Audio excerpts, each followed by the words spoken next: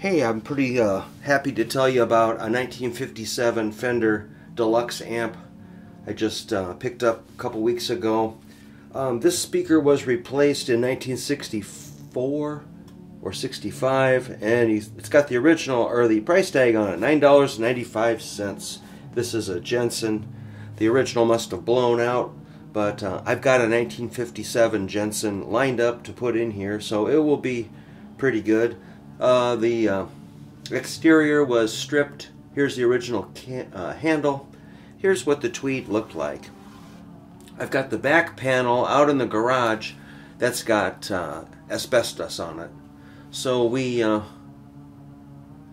I put some different output tubes in. Here's probably the original preamp tubes. There's your speaker out.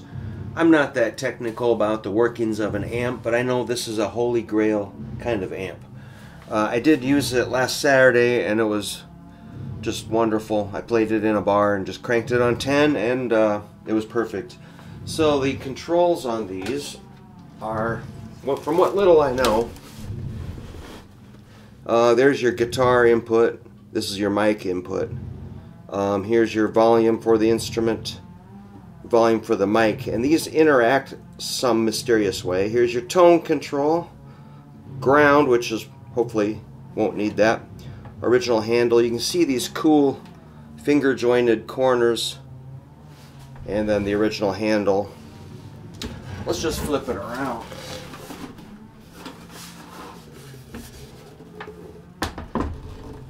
So we're thinking about retweeding it get some new tweed on there and age it to match the other the remaining original.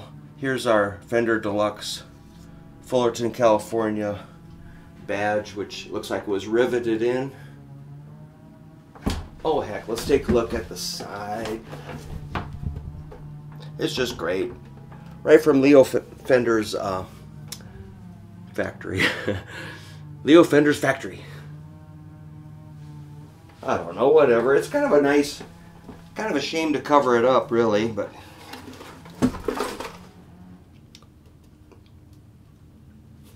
Well, heck, let's plug it in.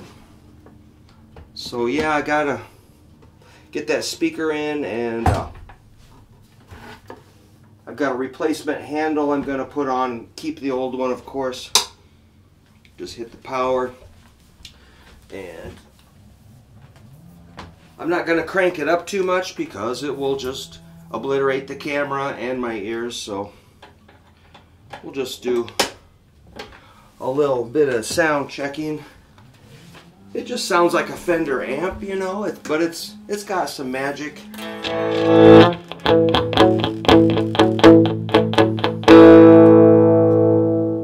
Turn it way down.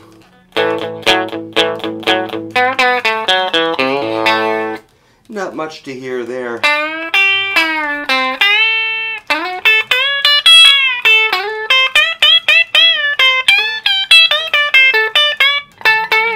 Of trouble.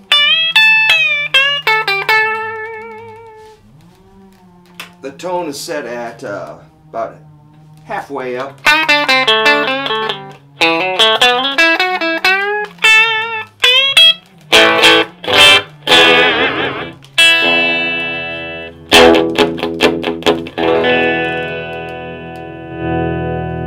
Turn it up just a teeny bit.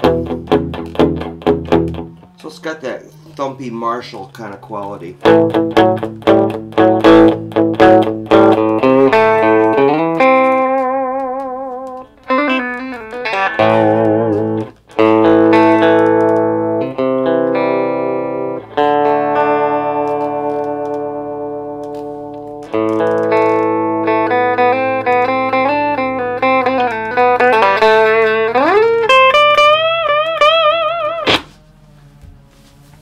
You get the idea.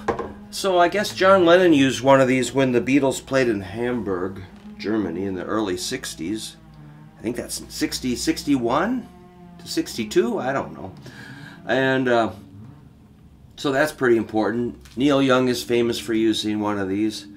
And uh, they're just super famous amps that uh, I was wanting to uh, have one at some point and one came up locally and this is the one so I'm made a move on it, and uh, what do you think? Should I put, uh, should I retweed it or leave it natural?